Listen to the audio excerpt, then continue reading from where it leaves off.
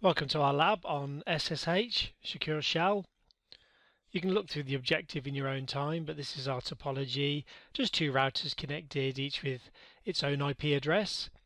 Our Dragapay 19, uh, I think the model is 1941, just down there. But anything with an Ethernet interface, but you must use a crossover cable here because we don't have a switch between the two. So a straight cable won't work. I'll connect to the 2 gigabit Ethernet interfaces. If you've got fast Ethernet on your routers, that's just fine. And I'll click on CLI tab here for the command line interface. I'll just drag it a bit uh, a bit bigger here so we can get a good look. And I'll do the same with router 1. I'll just get it um, in a nice position here so we can all see it. You'll find a way that's uh, comfortable for you when you're configuring your labs. Uh, we'll go through the steps. First thing, you don't actually need to do this, but I thought it makes it easier, and you can do this for all of the labs if you wish, is configure a host name. We need to type no to configuration dialog to start with. And then we'll go config enable and then config terminal. The command is host name and then whatever your host name is, I'm going to put R0, short for router 0 and on the right hand router is router 1 I'll shorten the commands now. En for enable enter conf t for configure configure terminal hostname r1 now we need to add an IP address to either side. So we've got IP connectivity. The IP addresses are 192.168.1.1 and 1.2 for the right hand router so interface space question mark. I just wanted to show you what the available interfaces are. And in fact, if we just type end, even better, show IP interface brief will tell us what's actually connected to our router. And you can see we've got two gigabit Ethernet interfaces. Don't worry about the VLAN at the moment, that's in a, another lab. So conf t, int for short, g0 slash 0 for short press enter and then IP address 192.168.1.1 and then space the subnet mask is 255.255.255.0 and then enter and no shut or no shutdown. That brings the interface up. We can't actually pass traffic between the routers until we've done the same on router uh, 1. So make sure you're in config mode, int for interface g0 slash 0, enter, and then the IP address is 192.168.1.2.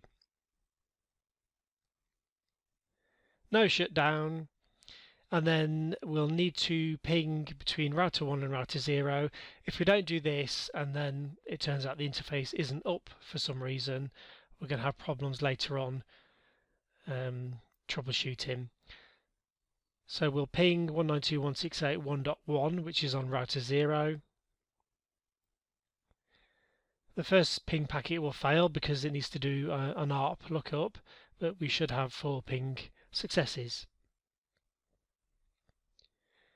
Alright, so now we'll go to the um, lab. I'll just remove some of the extra bits we don't need while I've spotted it, sorry. So we need to configure our uh, SSH. Uh, different ways to do this on different devices, obviously, but I'm just going to show you how to do it on this particular device. Uh, we need to add a domain name. Here's your options. You can always hit the question mark. It's domain dash name. I show you that because some commands have got dashes in and some have got spaces. 101labs.net, press enter. If you go to the uh, next command,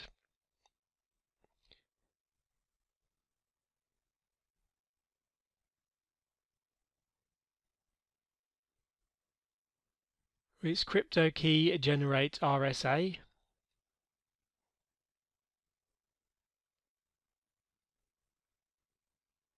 And you choose uh, a modulus. You'll have different uh, options depending on the level of security you have. I've done 1024 and then IP SSH time dash out. Don't need to do this, but I'm going to configure 60 seconds. Uh, the next command will be um, IPSSH authentication retries. So how many times can you uh, retry your connection? I'll set this to 2. I hit the question mark so you can see how many you can choose from, 0 to 5. Not sure what the default is actually. Uh, the next thing is we need to enable SSH incoming traffic on our um, VTY lines. VTYs are virtual terminal lines that we allow remote connections. So I've gone line space VTY space zero space question mark and I can see I've got 15 as the last number. And then the next command is transport input and I want SSH to permit secure shell traffic. Need to add a password, so there's a challenge for incoming connections. And then I've typed end. And then the next command is show IP SSH. And that just shows me some of the configurations I've got on the SSH here.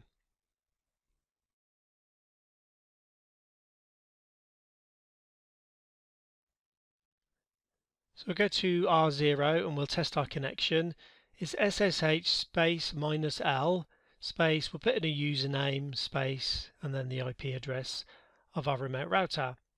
So opens, we'll put in the password which is Cisco and we can see it's worked. We could go into enable mode now but we've proved the uh, labs working here. Thanks for watching.